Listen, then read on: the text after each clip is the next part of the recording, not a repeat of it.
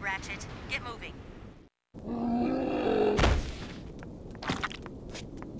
Captain Quark, first you made another miraculous comeback. Now you've defeated the Tyhrranoids in a spectacular battle on their own planet. How do you explain your recent success? Courage, compassion, dashing good looks, iron hard abs!